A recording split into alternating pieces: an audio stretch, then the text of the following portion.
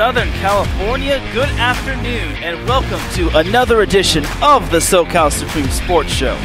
We have plenty to talk about, such as UCLA men's hoops.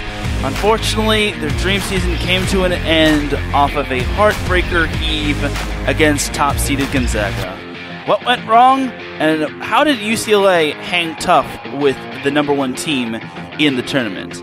Also, the Clippers have been red hot. Could the Clippers actually make noise in the NBA playoffs? Mm, we'll see. And the Lakers are still trying to keep themselves in the top eight or in the top six to automatically qualify for the playoffs without having to play that play in game. But they still have a lot of injuries going on. When will LeBron, AD, and all the others come back? Also, the Angels, they are off to a surprisingly good start. They won their opening series against the White Sox, they split with the Astros, and they won their first game of their current series against the Toronto Blue Jays. Can the Angels keep it up? I hope so. And then the Dodgers are still the Dodgers. They're still tearing teams apart. They get their championship rings today. And then the Padres, they're doing good as well, but the main concern could be Fernando Tatis Jr. Also, it is 90s week here at IE Sports Radio. I'll be going over the past finalists and champions from Southern California, whether it's college sports or professional sports. Who are those teams? You'll have to find out all that and more on the SoCal Supreme Sports Show. This is Teran Rodriguez bringing you another edition of the SoCal Supreme Sports Show here on IE Sports Radio, your direct feed for all that is sports.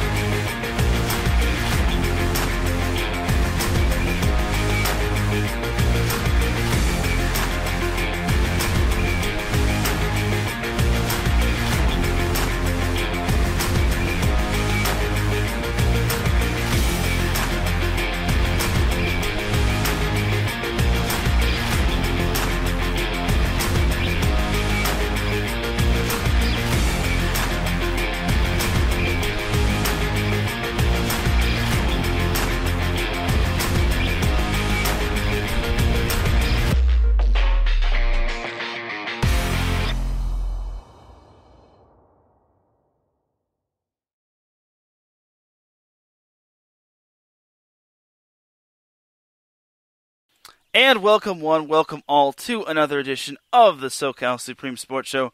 Thank you for joining me on this beautiful Friday afternoon. It is greatly, greatly appreciated. Sorry about the little delayed start time, considering I did have a call that came that I was that I had to pick up and whatnot. So there's that right there, but it's all good. And I know it's another weird flex time for the SoCal Supreme Sports Show. But because I'm super busy with everything, I gotta flex it to to 1 p.m.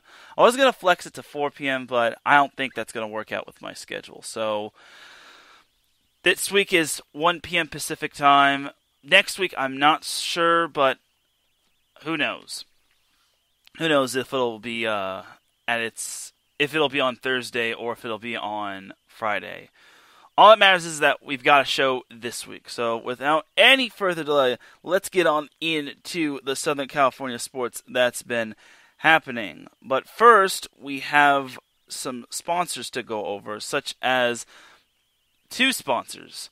The first sponsor is Legacy Financial. Legacy Financial is here to help you no matter what your financial status is all about. Last year was a tough year. But staying positive, keeping your faith, and continuing to work hard is the goal. If you're in a financial struggle at the moment, you're doing well and you want to get to the next level, or you're looking for a new opportunity to work for yourself part time and earn more money,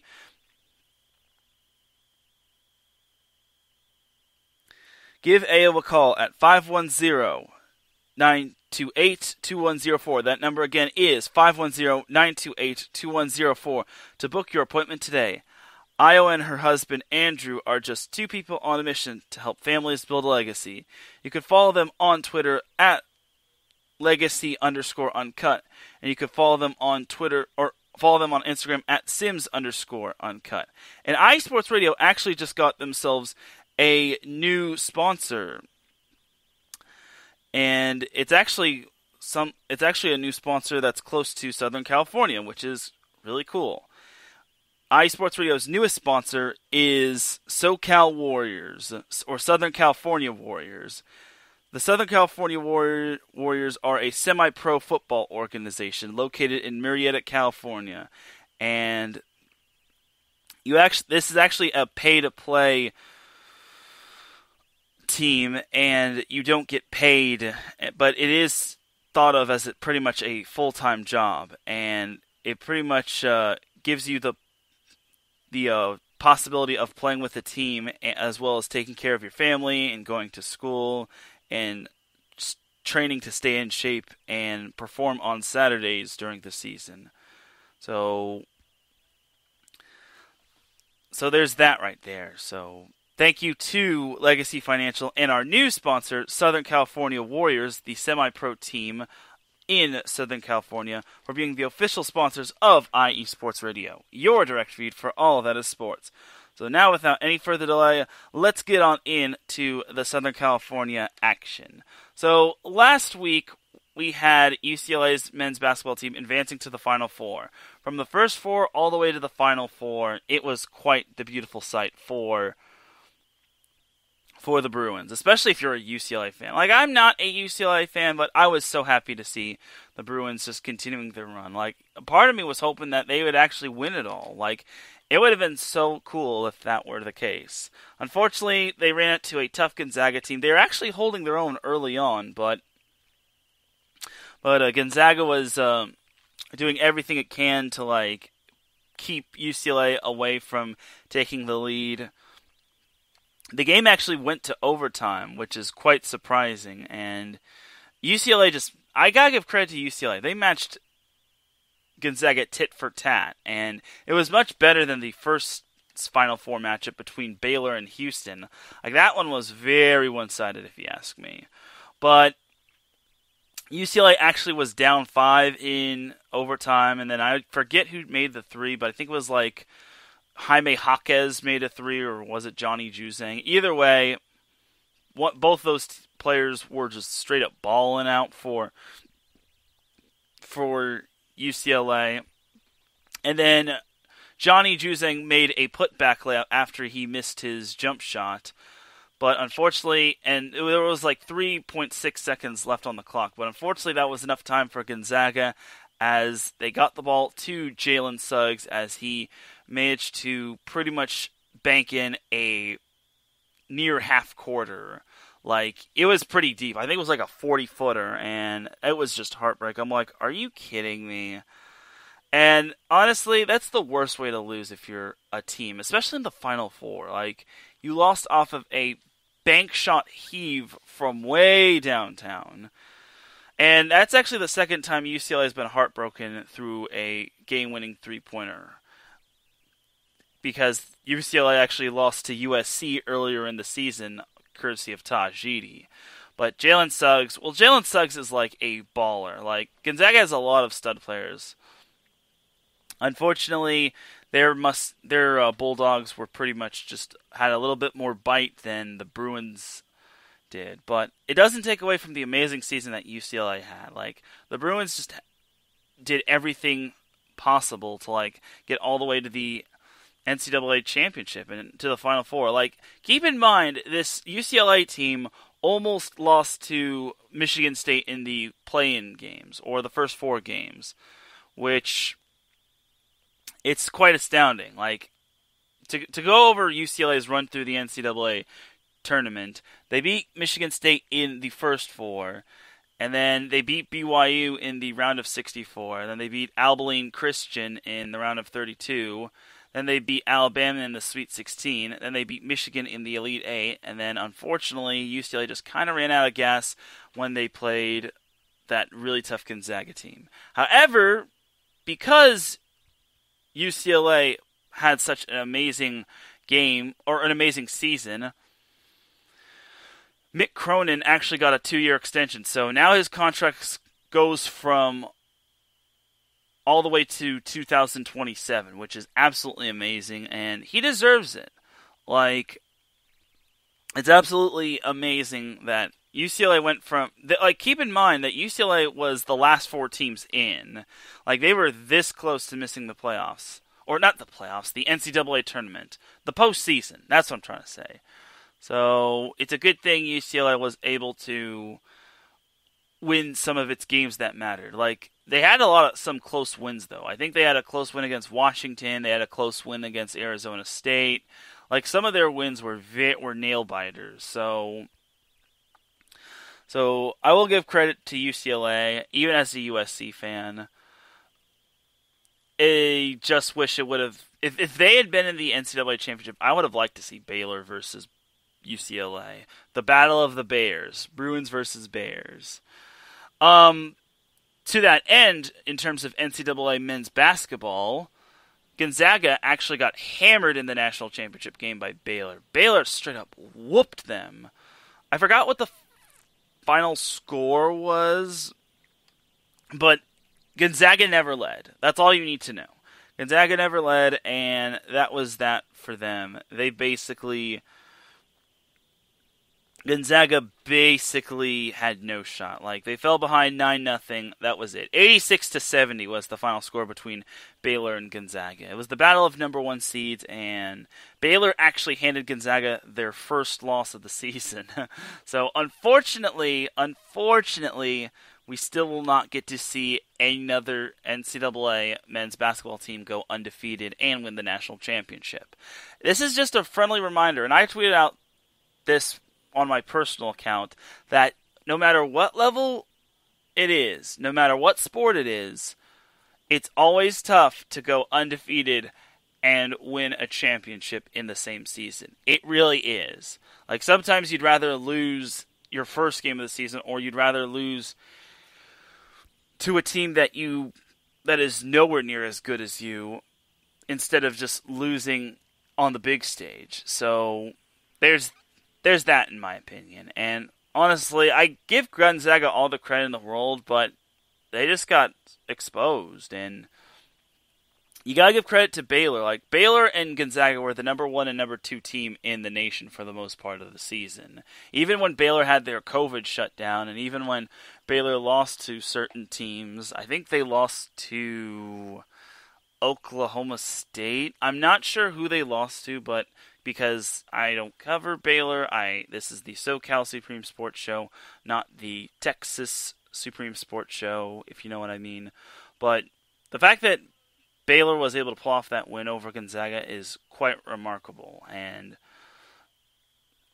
I think it it just goes to show you that this is a testament to to Baylor's toughness and resiliency. Yeah, they did lose to Oklahoma State in the semifinals of the Big Ten tournament, and then they lost to Kansas in February, which was their first loss of the season.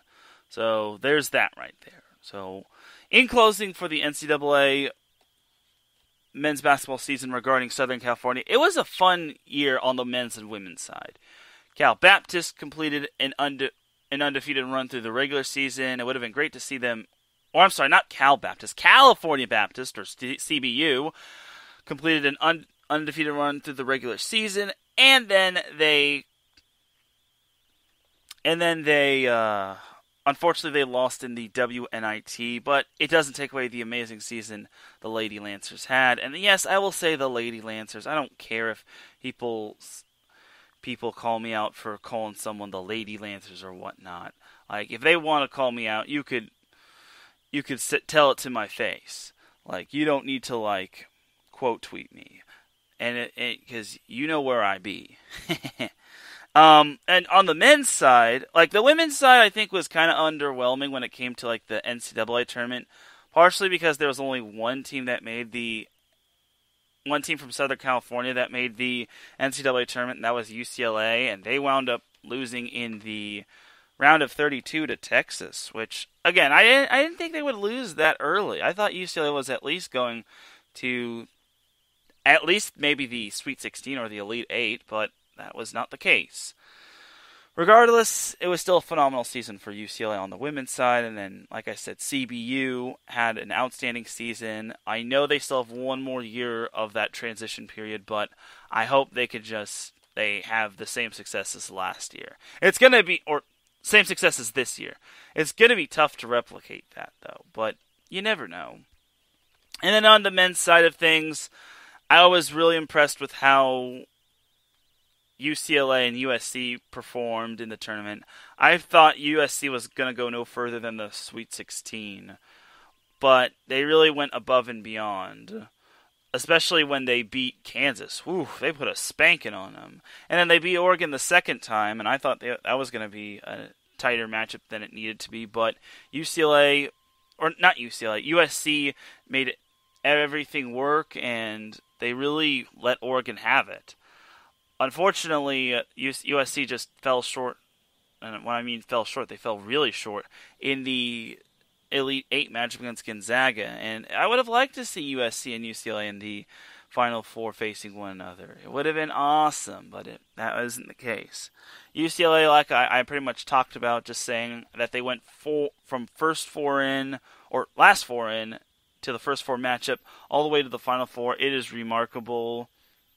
And to take Gonzaga all the way to overtime and almost beat them is absolutely astounding. If they don't go get off to that horrid start in overtime, I think the Bruins actually win that game. So, quite impressed with how the UCLA and USC men's basketball season ended. Even though it would have been great to see one if one team in the championship game, but it is what it is. And then UC Santa Barbara was also impressive this year. They had quite the phenomenal season. I know they got bounced in the first round to Creighton, but Creighton's such a great team year in and year out.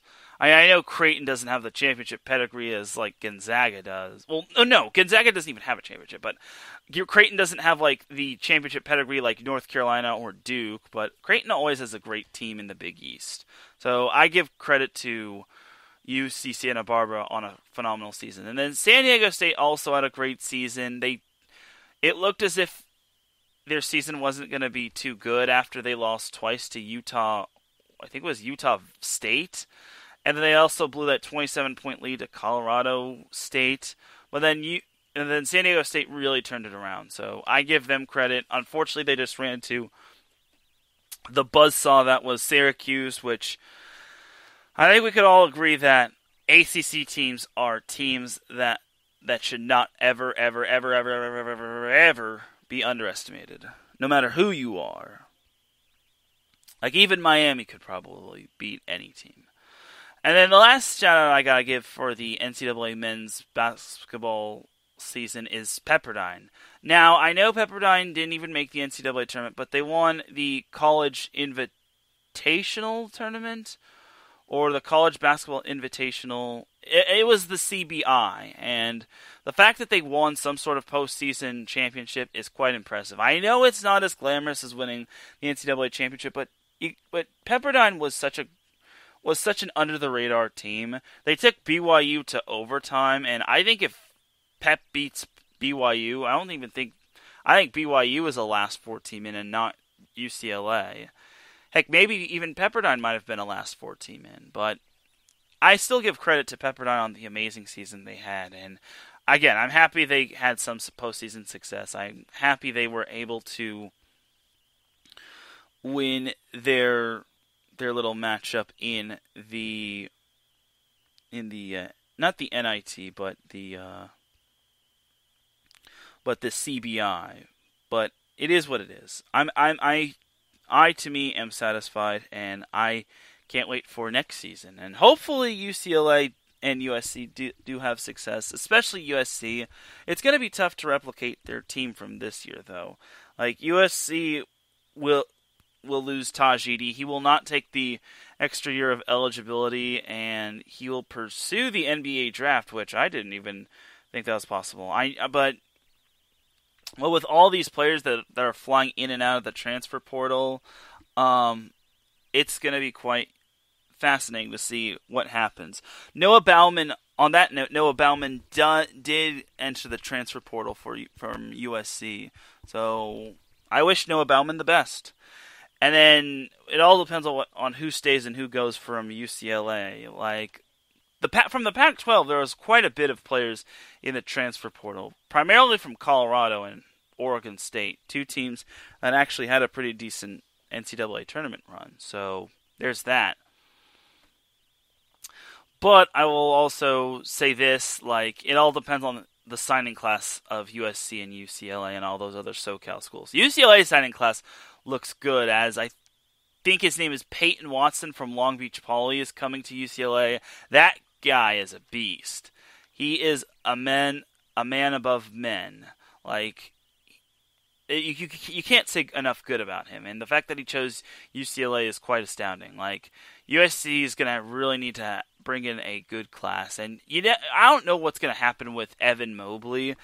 Most people are saying that he's going to go to the NBA draft, and that does make sense. Like I can see Evan Mobley as a going to the NBA draft or declaring for the NBA draft. But I'll also say this: like I hope he stays one more year because I don't think he's fully ready. I think he's he can do well in the NBA, but I think he needs to put on more muscle and and whatnot. And I don't think another year with his dad Eric Mobley and Andy Enfield wouldn't hurt him. Like, ju- like, and he'll also get another year with Isaiah Mobley. So we'll see. We'll see how it goes for Evan Mobley. And then the Big West Conference, I'm not overly hyped on, and I have been seeing a few transfers in and out. I did see that Long Beach State's uh, Chance Hunter uh, tran- transferred from Long Beach State to CBU, and I wish him the best. I think Long Beach State also got another transfer as well. I think he came from Texas A&M and whatnot. Either way, I think next season is going to be a fun season when it comes to NCAA men's and women's basketball in Southern California. So there's that. And now we close the book on that, and we won't be going back until I see some news. And my question is this What will happen with Andy Enfield? Will he be getting an extension considering USC went all the way to the Elite Eight? And that's actually the first time since 2001 that USC went to the Elite Eight. So we'll see. But that's going to do it for the NCAA men's and women's portion of the show. I also got to give a shout out to Stanford, who won the Stanford women's basketball for winning the NCAA women's basketball championship over Pac 12 foe Arizona. I know Stanford is Northern California, but I got to tip my hat to them because Stanford continues its winning streak of winning an NCAA championship I don't know the last time they didn't win an NCAA championship in a year, but considering this is a pandemic year, I gotta give them credit. I gotta give them credit. All right, now let's jump to the let's jump to the NBA. So, Lakers and Clippers are the tale of two different teams. The Clippers have actually been on a hot streak. Remember when I said last week they they had a tough four game stretch? Losing to Denver, they lost to Denver last Thursday, which that was no April Fool's joke.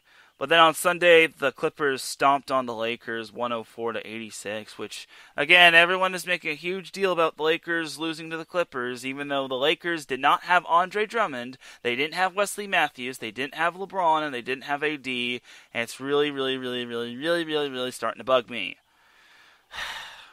But then the Clippers followed that up, beating the Trailblazers 133 to 116. And then last night, the Clippers beat the Suns 113 to 103. So the Clippers face the Rockets tonight, and I could see the Clippers winning that one. The Rockets have been an atrocity this year. Sunday, the Clippers play the Pistons at Staples Center. And then on Tuesday, the Clippers travel to Indiana to face the Pacers. I want to say Miles Turner is injured if I'm not if I'm not mistaken Miles Turner is injured. Yeah, Miles Turner is day to day. He is out for Friday's game, so there's that right there. Definitely check out more Indiana action on High Octane Entertainment. That goes on 10 a.m. Pacific time, 7 a.m. or I'm sorry, 10 a.m. Eastern time, 7 a.m. Pacific time and that's hosted by Justin Lahr. Definitely do check out High Octane Entertainment. Justin Lahr does a great job with his show, and I definitely think you all should tune in. So, back to the Clippers. Next Wednesday, the Clippers face the Pistons at the Palace of Auburn Hills. And then next Friday, the Clippers are also on the road against Philadelphia. And then the following Sunday, the Clippers are home against the Timberwolves. So there's that. But overall, the Clippers have been looking really good. They are the number three seeds so far, like, but they're closing that gap behind Phoenix. They're only two games back of the Suns, which Phoenix has also been a tremendous surprise, but as well as Utah. But I think that the Western Conference is up for grabs. Like anyone can win that, can win the Western Conference, and anyone being any of the uh, West Coast teams. Um, the only team I don't really see winning would probably be Memphis. Like eight, like Mem- between Memphis and San Antonio, I don't see them winning the the NBA championship.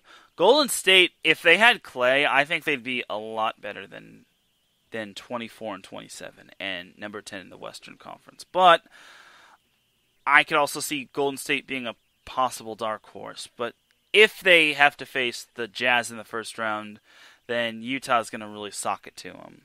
Dallas could also be an interesting team to consider as a possible dark horse to win the NBA championship.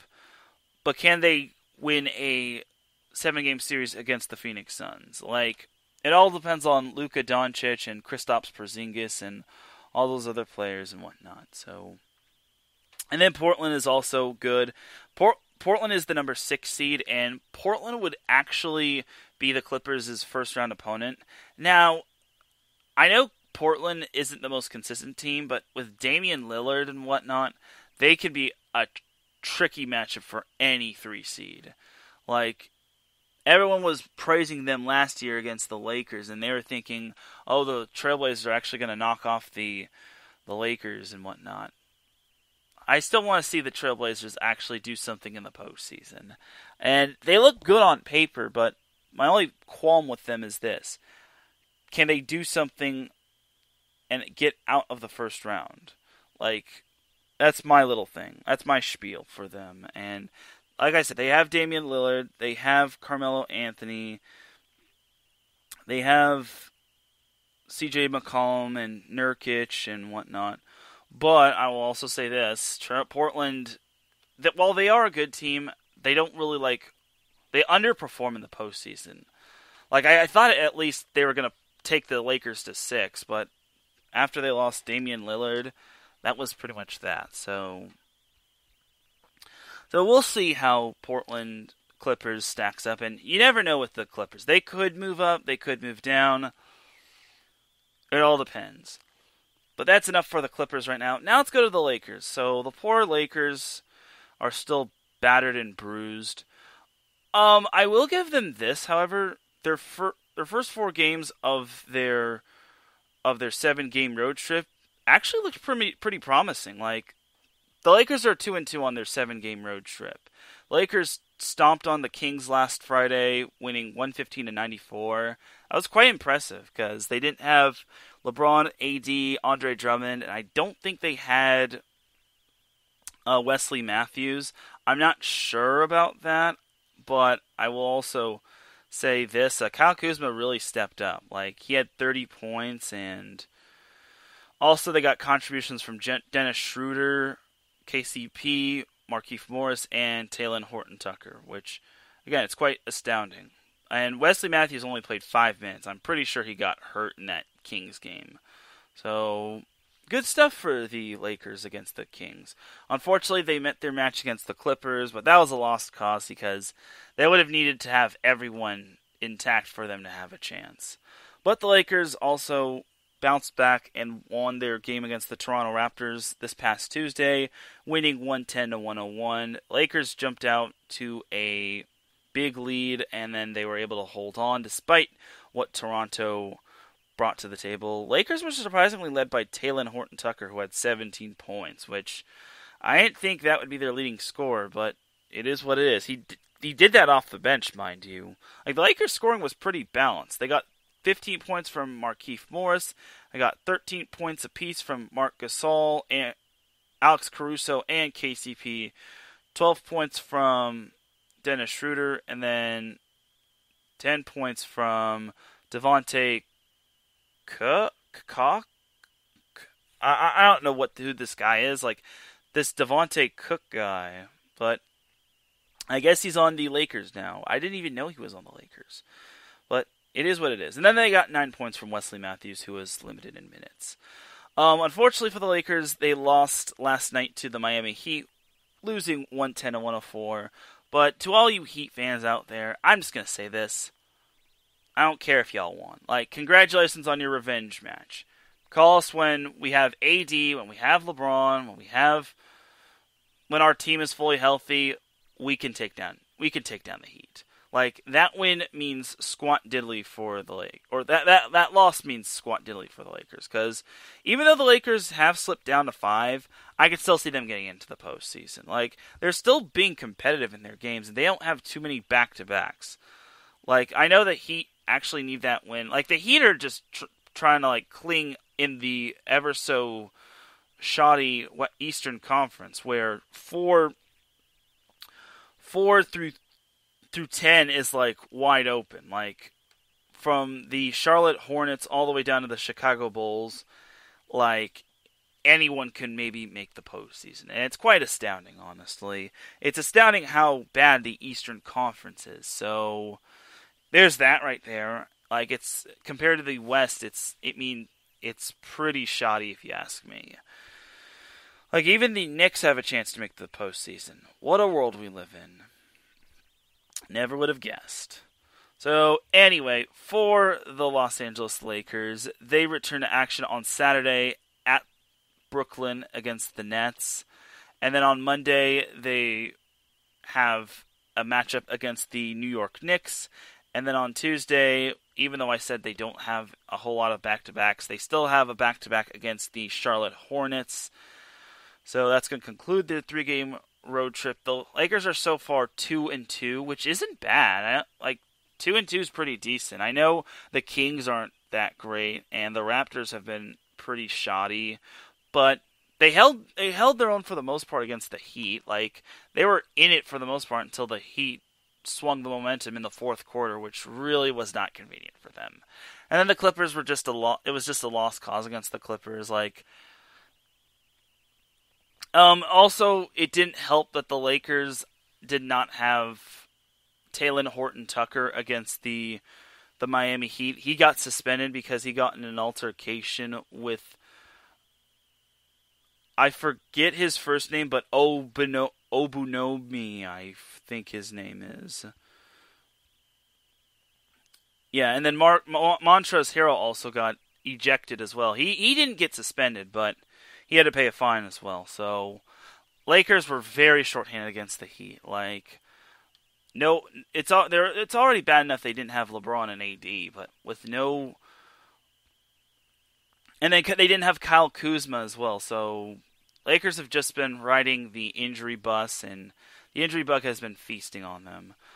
Um, next Thursday, the Lakers return home, where they'll unveil championship banner number 17 against the Boston Celtics. And then next Saturday, the Lakers also have a matchup against the Utah Jazz, which that's going to be pretty tough. They have back-to-back matches against Utah. Oh gosh. If the Lakers can salvage one win against the Jazz, that would be quite astounding, but it's their schedule gets really tough. Like even the Hornets look good. Like the Hornets and the Knicks, they're gonna want to boost up. They're gonna want wins, and then of course the Lakers picked the Celtics to unveil their championship banner, and then they're also allowing. And then something good for the Lakers and Clippers is that they're allowing fans into their stadium. Like California is actually starting to get out of the purple tier, which is great because I think most of California is like in like orange tier or red tier, mostly red and orange. Like I think there's only two counties that's still in purple tier. But California is doing their part to like slow the spread, and everyone is getting vaccinated. So, which I hope I can as well.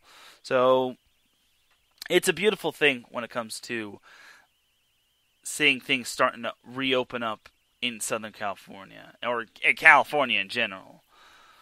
So we just gotta do our part, people. Please just mask up, and even if you get the vaccination, you're not invincible. You're not you're you're not invincible when it comes to to catching the virus and whatnot. So there's that right there. So but in closing on the Lakers, as long as the Lakers have some consistent wins, like as long as they're still in like the echelon of the of the five six spot, I think they'll be fine. Like if they somehow drop to the seven seven spot, then I kind of would be worried, considering that they'd have to play that play-in game. Though Anthony Davis might be on the mend to come back, but Frank Vogel did say that Anthony Davis is still a little ways to go in terms of returning. They did get Andre Drummond back, which he I think he might be on minutes restriction, but Drummond is back playing for the Lakers after he had a toe contusion. And then the Lakers also did sign Ben McLemore, which I'm happy they did. I mean, I I kind of think he's a good player. Like like he does shoot well from the perimeter, but I'll also make note that I don't know how long he's played, and I don't know what his uh, career career bests are, but I think he adds depth to the Lakers. Like I think it's it's a good thing. Like looking at Ben McLemore, uh, yeah, he is a Kansas boy, and and uh, yeah, he was on the the Rockets last I checked. So he got out of Houston and he wanted on the Lakers. So Good for Ben. oh, poor Houston. They're having such a train wreck here, but this isn't Houston sports. This is so so Cal sports. All right, so that's gonna do it for the Lakers and Clippers talk and talk of the NBA. Again, I really want the Lakers. Uh, the Lakers should be fine going into the postseason once they get LeBron and AD back and everyone else that's hurt back. I think the Lakers will be the team that no one still wants to see in the postseason. It all depends on if there's going to be home court advantage when it comes to like the postseason, or if they're just going to play in the bubble again. Like if the Lakers play in the bubble again, I still like their chances.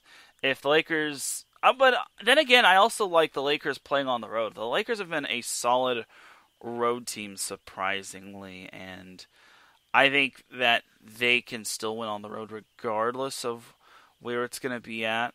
Like I think the Lakers are just that good. Like you look at the standing, like looking at the Lakers standings, Lakers are 16 and 11 at home and then 16 and 9 away. So okay, maybe their their records aren't ultimately that too far off in terms of road versus away, but Lakers have had some good road wins. Like their win against the Celtics was pretty good. So either way, I'm still confident in the Lakers.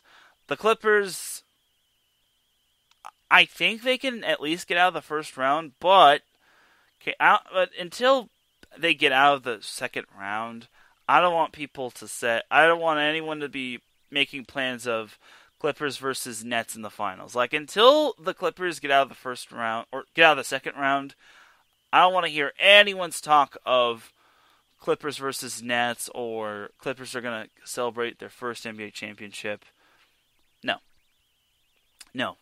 As far as I'm concerned, the Clippers are the biggest Peyton Manning of the NBA. I talk about how teams like the Nets, the Rockets, well, back when they were good, the Jazz, the all those teams that seem to fall short in the second round, uh, those teams are basically the Peyton Manning of the NBA playoffs.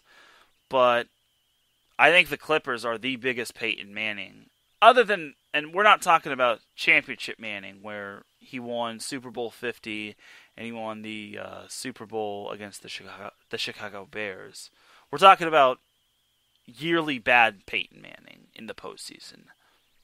Just saying, y'all. I'm sorry if I'm offending all the Peyton Manning fans out there, but it is what it is. Alright, but that's enough talk for the NBA. Let's jump to a little NHL talk and then we'll take ourselves a quick little breaky break. If I could find the NHL. So, terms of the NHL standings, so just we all thought the Kings couldn't get worse, they got worse. So the Kings are the Kings and the Ducks are basically at the bottom of the barrel when it comes to the West. The Kings have 36 points. They are they have 15 wins, 17 losses, and six overtime losses. While the Ducks have 31 points and have 12 wins, 21 losses, and 7 overtime losses. It's just been an epitome of pain for both teams. and the Kings are actually doing pretty good until until recently now, which they are now falling apart and it sucks. This past Wednesday, but this past Wednesday they did beat the Arizona Coyotes, but they lost last Monday to the Coyotes 5 to 2. On Wednesday they beat the Coyotes 4 to 3 last Saturday, the Kings lost to the Sharks three to two, and then last Friday, the Kings lost to the Sharks three nothing. Absolute pain right there. But at least the Kings beat the Golden Knights two weeks ago. They salvaged a split in that in that uh, two game stretch. So looking at the schedule going forward, the Kings face the San Jose Sharks tonight, and then they face the San Jose Sharks tomorrow. Both games are going to be in San Jose. And then on Monday and Wednesday, the Kings face the Golden Knights of Vegas at Staples Center. And then next Friday and Sunday, they play the Kings play the Colorado Avalanche. And then I guess it's worth noting that on Tuesday, April 20th, oh my god, 420, the Kings and the Ducks face one another. It's basically going to be the most lit last place match ever. And it wouldn't surprise me if the Ducks actually won that one. Speaking of the Ducks, that is perfect segue to go into everyone's least least successful team in Southern California. And I know there's only two teams, but and I know the Ducks have recently made the playoffs sooner than the Kings, but the Kings have two Stanley Cups, if that truly means anything. I know the Ducks won their the Stanley Cups faster than the Kings did, but to me, I, I prefer quantity over over like being early, in my opinion. Anyway, so the Ducks beat the Sharks five to one on Tuesday, which was a surprise. Psych. No, the the Sharks are just as bad. Like California in terms of hockey is so shoddy. Like you look at the Sharks, Kings, and Ducks. The Ducks are the bottom of the barrel of the West. The Kings are the second to worst team in the West, and then the Sharks are right ahead of the Kings in terms of worst team in the West. On Sunday, the Ducks lost to the Coyotes three to two, and then last Friday, the Ducks lost to the Coyotes four to two, and then last Monday they lost to the Avalanche five to two, and then the Ducks also beat the Blues on March 28th 3 to 2, which I guess is cool, but not really. So going looking ahead to the Ducks' schedule, the Ducks play the Colorado Avalanche tonight, and they also play the Avalanche on Sunday. Both games are going to be held at the Honda Center. And then on Monday and Wednesday, the Ducks play at San Jose against the Sharks. And that's this upcoming Monday and Wednesday, and then next Friday and next Sunday, the Ducks play the Golden Knights back at the Honda Center. So there's that right there. And then, like I said, Tuesday, the Kings and the Ducks will face each other on March on April 20th at 7 p.m. at Staples Center. So, so there's that in terms of the Ducks versus Ducks and the Kings. Both teams are looking like they're not going to be heading to the postseason this year, which is really sad. Because the top four teams in each div- in each division, yeah, top four teams in each division make the postseason. I will say this about the Ducks: at least they're not the Buffalo Sabres. Like, no offense to any Sabres fans out there, but the Sabres are putrid even the Red Wings are have a better record than the Buffalo the Buffalo Sabres. So hey, to all Buffalo fans, at least you got the Bills. That's all I got to tell you. uh, but that's going to do it for the hockey talk between the Ducks and the Kings. Uh, at least I at least want to see the Kings make the postseason. Like the Kings are seven points out of the final playoff spot, as they're trailing San Jose and St. Louis, as well as the Coyotes. The Coyotes hold the final spot, and then the third, the uh, top three spots of the Western West Western Division is basically occupied by Colorado, Vegas, and Minnesota, who have 56, 52, and 50 points, respectively. I highly doubt the Kings catch up to those teams, but you never know. Like, the Kings at least just need to make the postseason. That's all I ask for. Like, this was supposed to be a pretty special team. Like, I thought this was going to be at least the season where the Ducks or the Kings make the postseason, but it's turning out to be another bust, which really sucks. Like, the like the Ducks are basically treading toward the bottom of the barrel. Like they have the third in terms of points, they have the third lowest points. Like Buffalo has 24 points, Ottawa has 30 points and then the Ducks have 31. So it's been tough, but you just got to move forward. Look, look ahead to the future. Maybe make a splash in in a free agency, just build on the draft and whatnot. So there's that. But that is enough for hockey talk right there. And we're actually going to take ourselves a quick little commercial break. When we come back, we'll have some talk about the MLB and what's been happening with the Angels, Padres, and Dodgers. And it's 90s week, so we'll be going over all of the champions regarding the team, the Southern California teams in the 90s, whether it's college sports or whether it's pro sports. So you're listening to the SoCal Supreme Sports Show here on IE Sports Radio, your direct feed for all that is sports.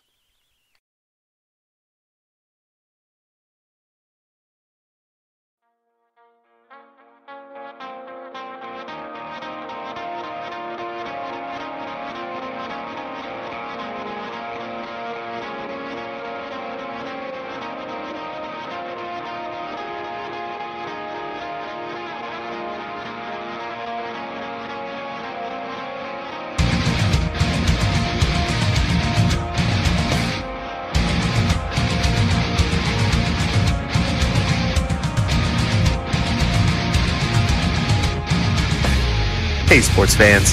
Do you like wine? Well, we've got the show for you. This is Let's Wine About Sports, a show where we talk about wine and sports simultaneously. From the classic Cabernet Sauvignon all the way down to the grapes that you've never even heard of before. Oh, yeah, we cover it all. And we'll talk about a little bit of sports as well. Football, hockey, collegiate, women's sports, it doesn't matter. We're going to talk about it all, and we're going to whine about it all. So join me Monday at 8 p.m. on IE Sports Radio, your direct feed for all that is sports.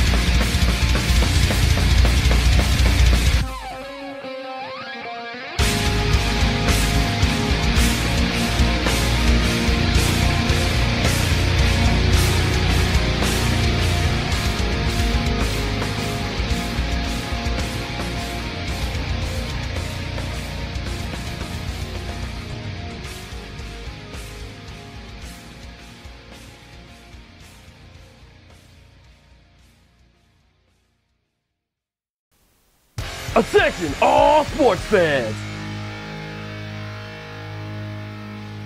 If you're someone who wakes up each morning with lists of sporting events to go along with your to-do list for the day, then you just might be a diehard. The world of sports is as vast as the ocean is deep, including the major leagues, the minor leagues, the colleges, and everything in between. This is me, your boy Larry B of IE Sports Radio, welcoming you to join me every Monday evening at 4 p.m. Pacific, 7 p.m. Eastern on The Defining Moment, a show that focuses on what really matters in the sports world sports themselves and nothing outside of them. Once again, tune in for the defining moment with me, your boy Larry every Monday evening at 4 p.m. Pacific, 7 p.m. Eastern on IE Sports Radio, right here on Spreaker.com. We'll see you then.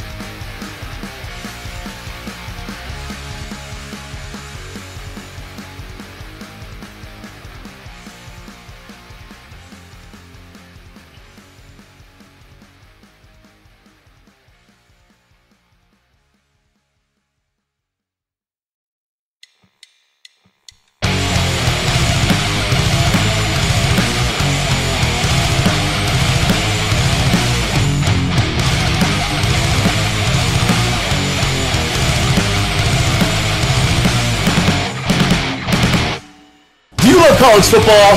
And do you want to hear a college football show dedicated to all that is college football, including junior college and the Triple CAA and the NJCAA, the NAIA, and the NCAA, including Division Three, Division Two, Division One AA in the FCS, and Division One Single A in the FBS. Well, then look no further join myself, Larry B, and my colleagues, Mr. H-Town Blake, Blake Henley, and Mr. Christian Espinoza, each week during the college football season for the latest in college football on Three and Out College Edition, right here on IE Sports Radio, your direct feed for all that is sports.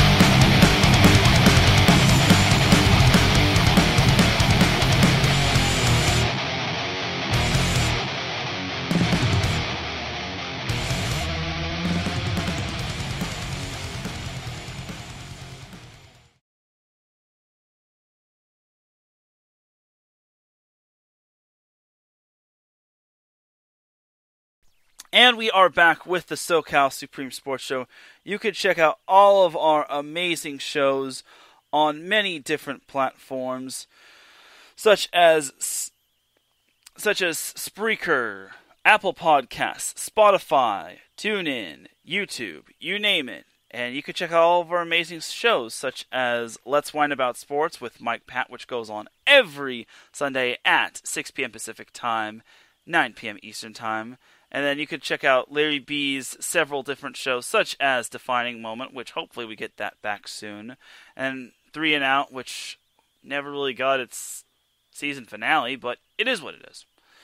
And all those the other shows that he hosts, like like he, tonight, he's supposed to actually host. Uh, sounds like Grimes, sports couples perspective with with himself and his girlfriend Cecilia and we'll see if that's going to be going on this week. So there's that.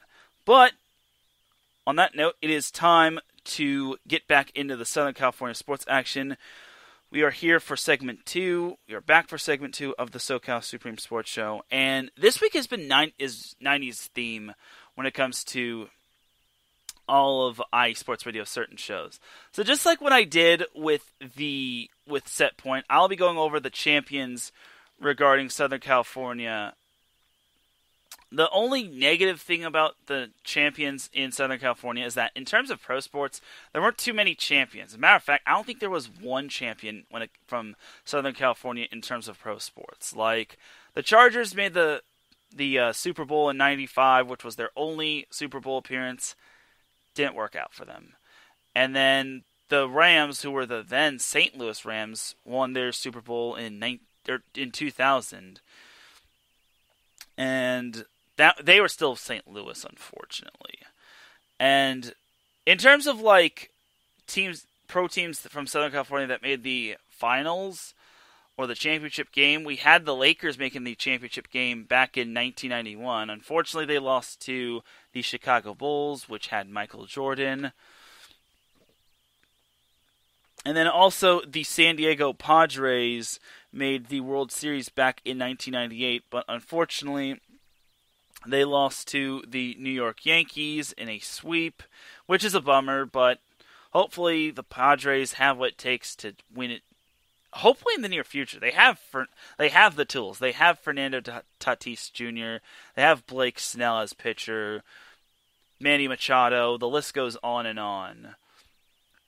So in terms of college sports, however, college sports is a definitely different story, as there are lots of past champions in Southern California college sports. We'll start with NCAA baseball. So, going all the way back to 1992, we had Pepperdine winning the NCAA World Series as Andy Lopez guided Pepperdine to a 48 11 and 1 season as they beat Cal State Fullerton 3 to 2 in the in the championship game, and Cal State Fullerton was the runner-up. So good stuff for the Titans. This that basically was what started the the uh, Titans' uh, dynasty in terms of baseball. And Cal State Fullerton always has a great baseball team year in and year out. Speaking of Cal State Fullerton, they actually won the World Series back in 1995 as Augie Garrido was the winning skipper for the Titans. Fullerton went 57 and 9 as they beat as they beat USC 11 to 5 in the championship game and all the all the championship matchups were held in Omaha. So for those wondering where all these championship matchups were held, oh, it was held in Omaha, aka Peyton Manning's favorite City. anyway, but Cal State Fullerton won the championship back in 95 thanks to Augie Garrido as their head skipper. USC actually got to win the the World College World Series championship as they won in 1998.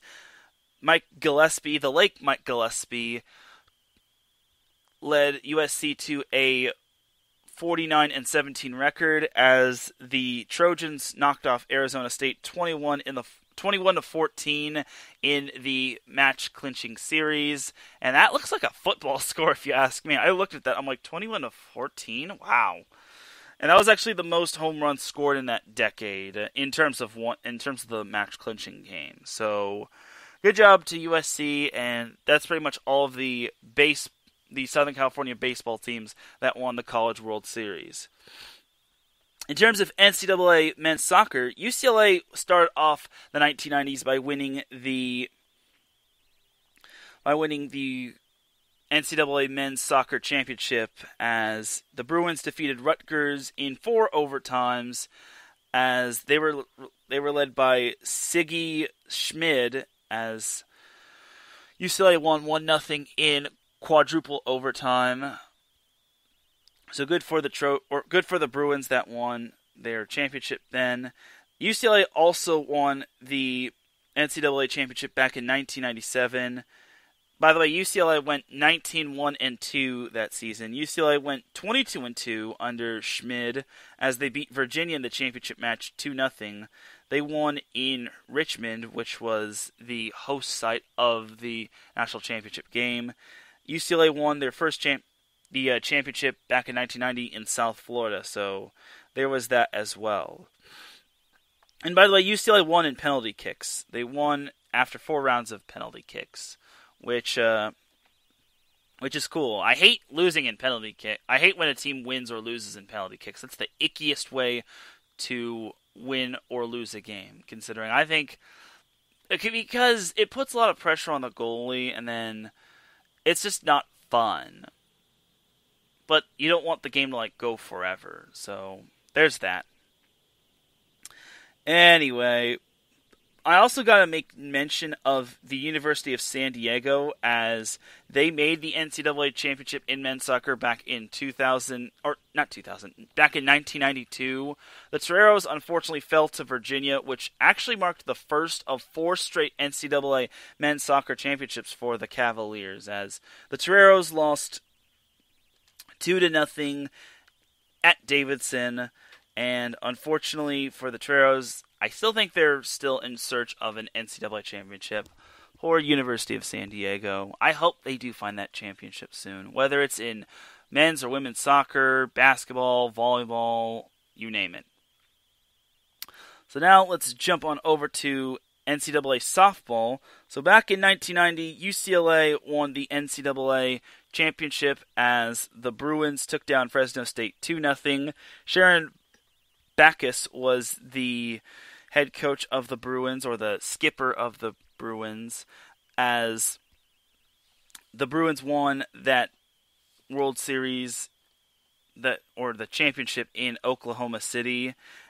And I also got to give sh- and then UCLA also won that won another championship in 1992 courtesy of Backus as they defeated Arizona 2 0 in the series clinching match as UCLA went 54 and 2 that season. And UCLA was just all over the place in terms of softball. They made through the first 4 years in the 90s, UCLA made the World Series four straight times.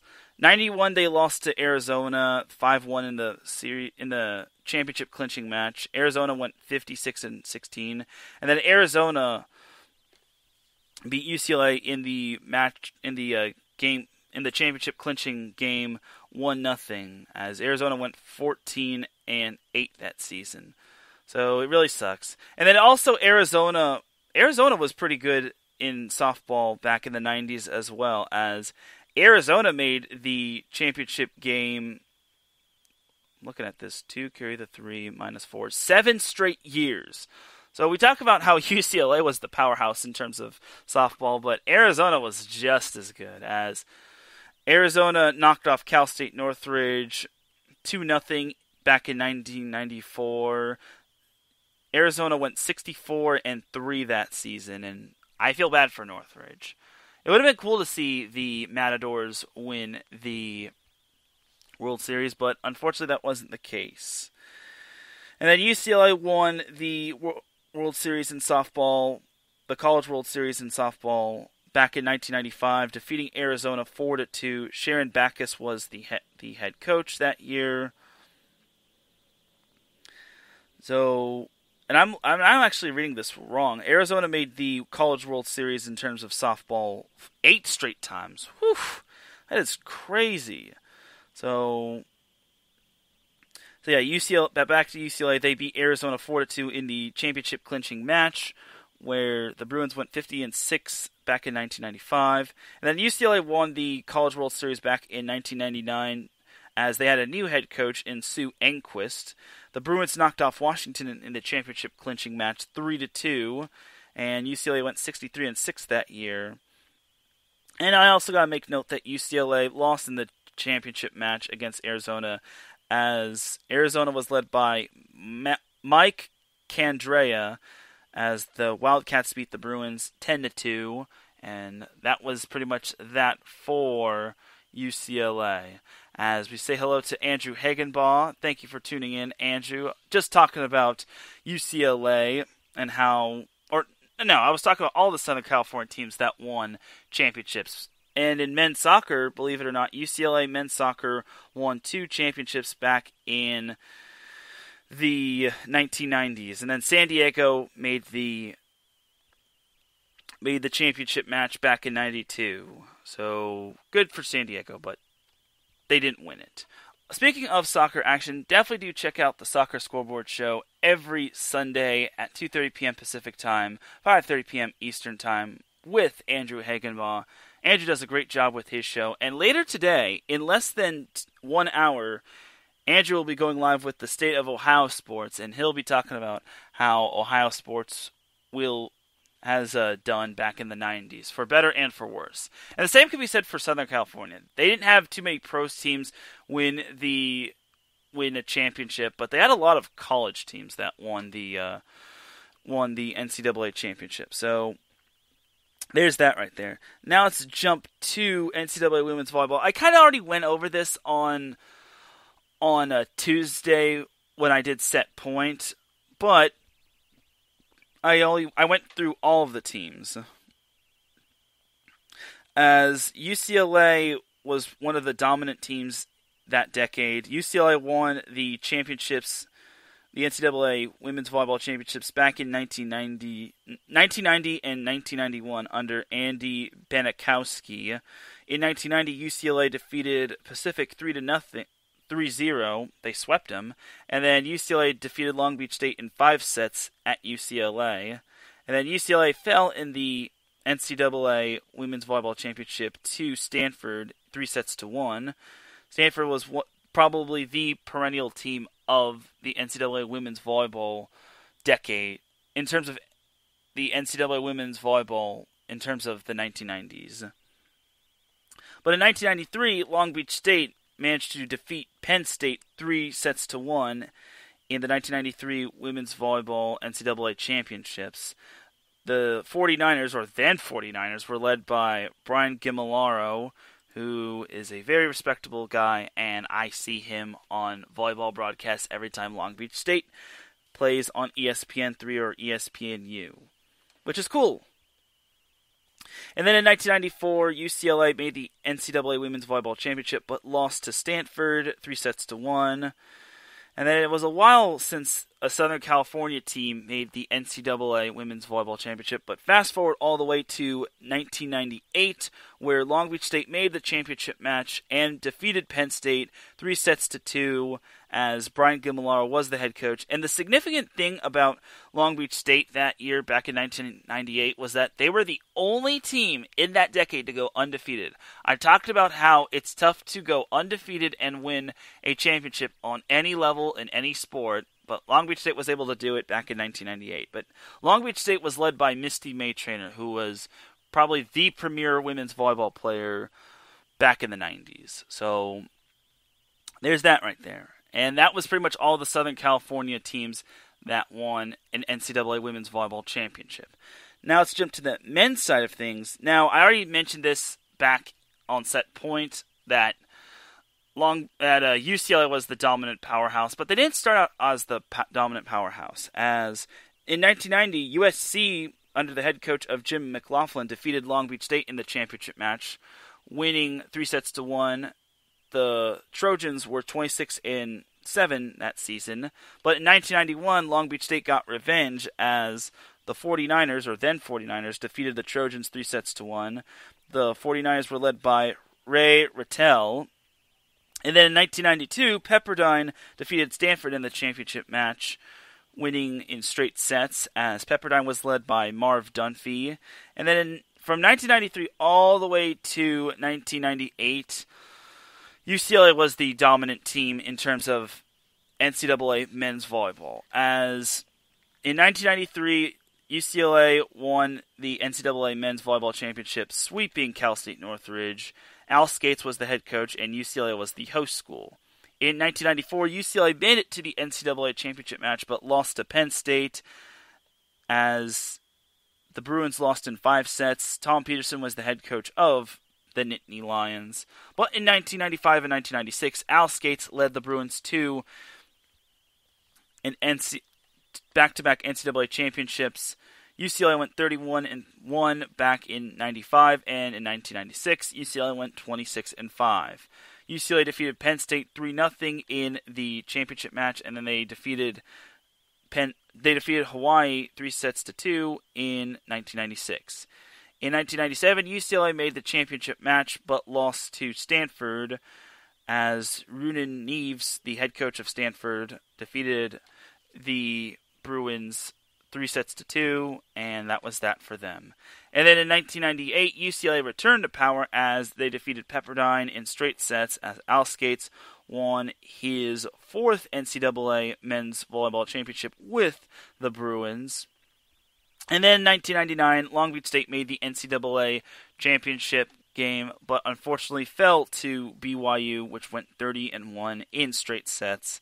The game actually took place at UCLA, so I think everyone was thinking, "Oh, UCLA is just going to make the championship again," but UCLA did not. So there's that right there. So that's that for NCAA men's volleyball. Now let's jump to NCAA men's basketball. So back in 1995, this was the only Southern California team that either made or won the NCAA men's basketball championship. UCLA, under the head coach, watch under the watchful eye of Jim Harrick, was able to defeat Arkansas 89 to 78 as the Bruins won the NCAA men's championship. And the Bruins continue to be the true blue blood of NCAA basketball. And they're not as big of a blue blood as Duke or North Carolina, but they're kind of up there. They're at least the blue blood of the of the West Coast uh, in terms of like California and whatnot. But that was the only Southern California team that either won or made the championship match in NCAA men's basketball. Now, for men's water polo, oh, gee, many Christmas. NCAA men's water polo, there were a lot of Southern California teams that won the the uh, that won or made the championship match in men's water polo. Why? Because California is such a hub for like for like uh, talented teams uh, to like dominate in in terms of NCAA men's water polo. Southern California is no exception. In 1991, UCLA made it all the way to the championship match, but unfortunately lost to Cal, losing seven to six. But and then in 1993, USC lost to Stanford 11 to 9 in the championship match and then Stan- USC was lost to Stanford again in the championship match back in 1994, losing 14 to 10. So I talked about how California was dominant in terms of in terms of uh, winning and making the NCAA men's water polo championship, but not Southern California. NorCal was the one that dominated. But then 1995 changed that tune as UCLA won the won it back-to-back championships in 1995 and 1996 as Guy Baker guided UCLA to two national championships in men's water polo. The Bruins defeated Cal 10 to 8 in the championship match, while UCLA defeated USC 8 to 7. I'm sorry to all the USC fans that had to hear that, but it is what it is. Anyway, so that was quite the impressive feat for Guy Baker and UCLA. In 1997, Pepperdine, led by Terry Schroeder, won in double overtime over Southern Cal, oh, oh, yeah, over USC. I unfortunately, the score got unfortunately cut off, which was my bad. But Pepperdine won the NCAA Men's Water Polo Championship that year. And then in 1998, USC finally broke through as one of the true blue bloods in terms of men's water polo as they defeated Stanford in double overtime, winning 9 to 8. John Williams and I'm probably going to butcher his name. Yo Hovan Vavic Vavic was were the coaches for the Trojans. And then UCLA returned to its power under Guy Baker and Adam Krikorian as they won as they beat Stanford six to five in the championship match. So UCLA has quite a bit number of championship quite a number of championships in terms of men's water polo. It's quite astounding. And so and for those that are wondering where NCAA women's water polo is, there was no NCAA women's water polo back in the 90s, which was disappointing and whatnot. I was very sad face, but it is what it is. And that pretty much covers that in terms of the NCAA champions back in the 90s regarding the NCAA men's and women's teams from Southern California. It's, I know it seemed like a lot, but but I guess Southern California does ha- does have success, mainly courtesy of UCLA, because there's a reason why UCLA has won, is like one of the top schools in terms of winning national championships with Stanford and whatnot. I think US, USC is like third or something like that, but we're not talking about USC. We're talking about UCLA. So that's that for my 90s theme. Definitely continue to check out IE Sports Radio's 90s theme shows this week as 90s theme is going to come to a close. I believe it's going to come to a close on Sunday. I'm not sure. Either way, let's jump to some MLB action. So the Angels, Dodgers, and Padres are actually doing good, which is quite impressive. I didn't think that I'd be saying that because I thought one or two teams would be doing good, but but the Angels have joined the fray. So the Angels have been quite the pleasant surprise this year. In their opening season against the White Sox, they took three out of four.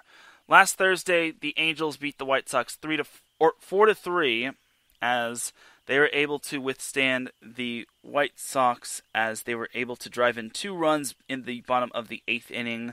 That seems that that's kind of a theme for the Angels. They always seem to drive home runs that whenever they truly need it in the eighth inning or the latter part of the game, which is not really a recipe for success. In the second game, the White Sox defeated the Angels 12 to 8. The Angels and the the Angels only trailed 7 to 6 as the White Sox actually led 7 to 1 at one point until the Angels started to chip it away. And then the White Sox got hot as they blasted five home they drove in five runs. The and in typical Angels fashion, their bullpen their bullpen imploded. And then the Angels only were able to drive in two runs in the ninth inning, which is a big fat no-no. And then on and then on Sunday, the Angels were able to were able to bounce back and drive in three runs in the bottom of the eighth to win five to three over the White Sox which was quite impressive. Again, it seems like the Angels were able to are able to like drive in runs when it, it later in later stages of the game, which again, I don't really think that's a recipe for success. But it is what it is. And that was actually on Saturday, my bad. So Thursday they won, Friday they lost, Saturday they won, and then Sunday the Angels were able to defeat the White Sox off of a walk-off home run from from Jared Walsh. It was a three-run home run as it was a walk-off home run, and the Angels won that one seven to four. It was great to see them win on on uh, Sunday Night Baseball or or uh, ba- whatever the ESPN calls their little baseball uh, segment on Sunday. Either way, the thing that that almost cost the Angels was their pitching in the ninth inning. I knew the Angels were only up one, and I'm thinking, okay, this is the danger zone for the Angels. They're only up they're only up one run, and they still they still have yet to get run support. And then it looked as if the Angels were going to wind up losing, but then Jared Walsh saved the day because the White Sox were foolish to walk Mike Trout, but I see why. Like Mike Trout, it, you you never want to face Mike Trout in the bottom of the ninth inning because that's when his dad powers could kick in. So this past Monday, the Angels were able to edge the Houston Astros, winning seven to six. It looked as if the Angels were going to implode in the ninth inning, but they got out of the jam as as Mike Myers was, or Mike Mayers or Myers was able to get the save, and the Angels drove in four runs. That's what really surprised me. I thought, okay, Angels are going to lose to the Astros. It's over. And this seems to always happen when I ever see an Astros Angels game. I'm like, okay, Angels lost. And then the Angels somehow come back and make me eat my words. And it's like, okay, cool.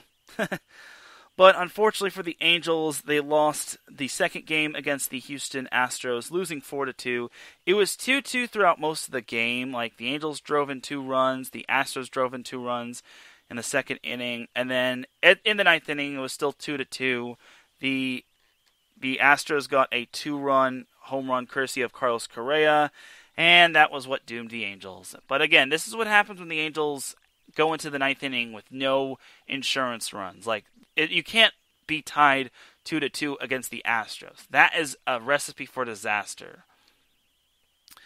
So there's that. And then yesterday, the Angels defeated the Toronto Blue Jays 7 to 5 in Florida, which is where the Blue Jays are playing their games. I was surprised that the Angels were able to outlast the Blue Jays in extra innings. So it's good for them. Because the Angels still have to deal with that stupid extra innings rule where a runner on second is there, which I get it speeds the game up, but it just makes it. But it just, means that your bolt both teams have to bank on their bullpen. And if your bullpen isn't good, then you're going to have an uphill climb. But I guess that means your pitching staff has to be good and you're you can't suck. So, Angels are 5 and 2 to start the season. I do remember on bases loaded that if they if uh the Angels went at least 5 and 5 in their first two games, they'd still be okay. By the way, definitely do check out Bases Loaded every Sunday at 7 or I think it's 5 p.m. Pacific time, 8 p.m. Eastern time on StreamYard slash YouTube. So yeah, definitely do check out Bases Loaded with Brandon Buckingham, Blake Henley, and Chris Garcia. But so far the Angels are five and two, and they're looking pretty good. They do have three more games against the Blue Jays, in which the Blue Jays are a legit contender to possibly win the AL East, but they still have to go through the Yankees. I can at least see the Blue Jays making the postseason as a wild card team. But looking ahead to the the Angels' schedule next week, we have the Angels taking on the Kansas City Royals at Kansas City on Monday, Tuesday, and Wednesday. And then they'll have a day off next Thursday, but next Friday they are back home at Angel Stadium against the Twins in a three game series next Friday, Saturday, and Sunday. And then the Angels will get somewhat of a breather of a breather the following week as they'll face the Texas Rangers, but the Angels no, eh, nothing is guaranteed when it comes to the Angels, especially when it comes to that shoddy bullpen of theirs. Like they can't just get all comfortable and lazy after winning a series after splitting a series against the Astros and winning a series against the White Sox. And I know Dusty Baker is one of the more overrated managers in MLB, but you gotta give him some credit, though. Also, I gotta make note that a Dodgers fan, yes, a Dodgers fan, contrary to popular belief, a Dodgers fan threw a a blown up trash can onto the field. Like it was a balloon trash can. Well, not like a balloon balloon, but it was a inflated trash can that he just threw onto the uh, threw onto the uh, onto the field. And I'm just gonna say this to all you Astros fans out there. It was not an Angels fan. It was a Dodgers fan. Okay, I have the proof that the Dodgers fan threw it onto the field, and I will post it and to like have everyone shut their mouths and saying that an Angels fan threw it out there. It was a Dodgers fan. I think an Angels fan did throw a trash can, an actual trash can, onto the field, but I don't know who threw it. Like, it could have been another Dodgers fan. It could have been a Dodgers fan disguised as an Angels fan. Either way, Angels fans don't really have too much beef with the Astros outside of the Astros being the rivals of the Angels but I think the true I think it was mainly Dodgers fans because I did get hear about the plan of Dodgers fans purchasing tickets to to Angels games when the Astros play the Angels, and then them just finding ways to like make the Astros day a living nightmare and whatnot. So I know this, and this would have happened had it not been for COVID. But unfortunately, that was not the case, and there's that. So that's enough talk for about the Angels. The Angels are doing well, and I hope they continue this great string of string of luck. Now let's go to the Dodgers. So today the Dodgers get their championship rings, and boy, do they look good. What isn't looking good is the Dodgers against the Nationals. They're tied zero to zero, but the Nationals have a man on third and second, or I'm sorry, a man on third and first with two outs.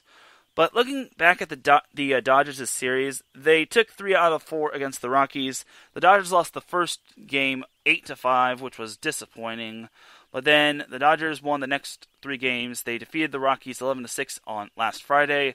They defeated the Rockies six to five last Saturday, and then they defeated the Rockies four to two last Sunday. So good stuff. And then this past week, the Dodgers took two out of three against the Oakland Athletics. They beat the A's 10 to 3 this past Monday. They beat the A's 5 to 1 this past Tuesday. And in 10 innings in disappointing fashion, the Dodgers lost to the Athletics 4 to 3, courtesy of a Kenley Jansen blown save.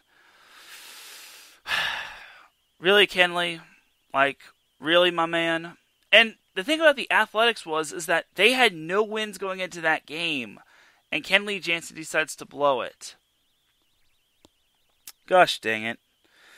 And starting today, the Dodgers have a three game series against the Nationals. The Nationals did not score as it is now the middle of the fifth inning. The Dodgers are now up, and the Dodgers and Nationals are still tied 0 to 0. So after their series against the Nationals, the Dodgers have a three game series against the Rockies on Tuesday, Wednesday, and Thursday. And then on and then next Friday, Saturday, and Sunday, the Dodgers have a three game series against the Padres in San Diego. Which that's gonna be a fun fun series. And honestly, I think I've heard word on the street is that tickets to that series have already been sold out. So there's that right there. So to any Dodgers or Padres fans that was hoping to get tickets, if you don't have them, I feel bad for you. Just saying. Now let's close the door on the Padres. So the thing about the Padres is that I heard Fernando Tatis did get hurt in with a uh, as he as a Tatis Jr. with a dislocated shoulder as he actually took a hard swing for a strike three and then he winced in pain and then and uh ugh, from what I'm hearing according to according to manage to the uh, San Diego Padres' manager Jayce Tingler that the shoulder popped out and it was pop put back in place in the training room. So I guess he's okay, but that's gotta hurt. But it is concerning, according to Tingler. and he says he doesn't want to see Tatis playing through pain and whatnot. So at least they were able to pop the shoulder back in, but it still is a little concerning. Like looking at the game against the the uh, the second game between the Giants and the Padres. Looks like Tatis did not play. Yeah, Tatis didn't play in the second game against the the San Francisco Giants. And then the third game against the Giants, we did not see Tatis in that game. So I imagine this injury is going to be. I don't think it's going to be long term, but he is going to be out for a while. And in that series, the Padres lost two out of three against the Giants. The Giants this past Monday took game one where Tatis got hurt, three to two. And then in game two, this past Tuesday, the Padres beat the Giants three to one. And then in this past Wednesday, in ten innings, the Giants defeated the Padres three to two, and that's how the Giants were able to take two of three of against the Padres. In the opening series, but for the Padres, the Padres were able to take three of four against the Diamondbacks. The Padres won won game one last Thursday, eight to seven. Then last Friday, the Padres beat the Diamondbacks four to two. This past Saturday, the Padres beat the Diamondbacks seven to nothing. And then this past Sunday, the Diamondbacks got the better of the Padres, winning three to one. So looking ahead to the Padres schedule, they have they start a three game road trip or three game road series against the Padres on starting today and then ending on Sunday in the morning. Gosh. But then again, that's afternoon for if you're the Texas Rangers. So there's that.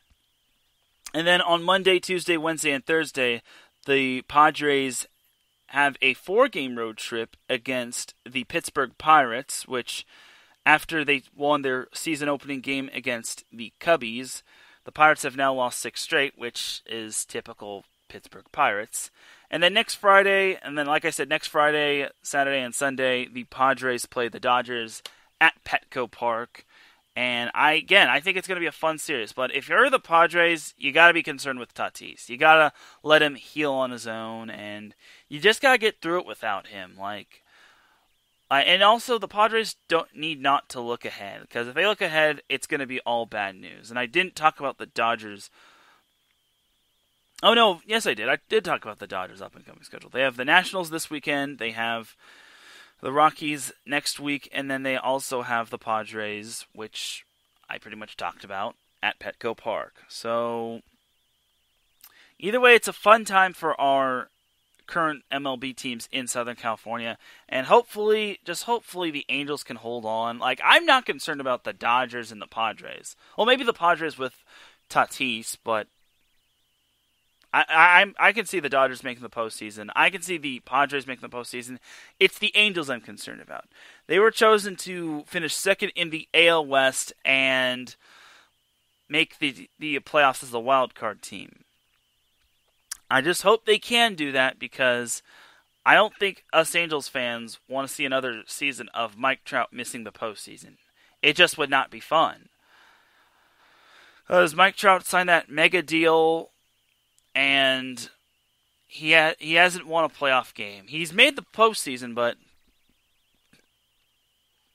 but making the postseason and actually winning a playoff game are two totally different things. So there's that right there. And that's going to do it for the MLB portion of the show. And that's going to actually do it for today's episode of the SoCal Supreme Sports Show. Thank you all for tuning in on this beautiful Friday afternoon. I definitely appreciate it. Shout out to Andrew Hagenbaugh, who was in the chat room. I definitely appreciate you popping in, my brother. It always makes my day when you pop in and say what's up. Definitely check out Andrew Hagenbaugh's show, The State of Ohio Sports, in about 25 minutes from now. And then also check out the Soccer Scoreboard show every Saturday or every Sunday with Andrew Hagenbaugh at 2:30 p.m. Pacific Time, 5:30 p.m. Eastern Time. I also gotta give a shout to our two sponsors, Legacy Financial and SoCal Warriors. Definitely appreciate that And the SoCal Supreme Sports Show is very proud to have the SoCal Warriors as an official sponsor of IE Sports Radio, your direct feed for all of that is sports. And you can follow IE Sports Radio on Twitter and on Instagram at IE Sports Radio. Definitely give them a follow and a like on Facebook. Give them a subscribe on Apple Podcasts and on YouTube. And give them a a positive rating and a five star rating on on uh, Apple Podcasts and give them a good good review on Facebook and whatnot. So there's that right. So there's that and definitely do your part to try to help IE Sports Radio continue to grow because without you, we don't amount to too much. But that's going to do it for this show. Without any further delay, it is time I get on out of here because I got to get me something to eat before I head off to work. You know what I mean? Jelly bean? Once again, thank you all for tuning in to the SoCal Supreme Sports Show. It really means a lot. If you're listening live, I definitely appreciate it. If you're listening on the playback, I also appreciate it. Definitely do check out the State of Ohio Sports. That's going to be coming on in less than 25 minutes. Andrew Hagenma does an amazing job with his shows. And yes, I said shows because he also does a great job with Soccer Scoreboard Show. I will be seeing you all next Monday when I do Set Point. I will be on at 11 a.m. Pacific Time, 2 p.m. Eastern Time, and I will have a special guest. You probably already heard about it on Set Point, but I'm not going to repeat it again. Haha! For everyone here at IE Sports Radio, this is Teran Rodriguez signing off. Have yourselves a great rest of the weekend. Enjoy the sports, enjoy life, be safe, do your thing to slow the spread, and remember, SoCal is for SoCal. Peace!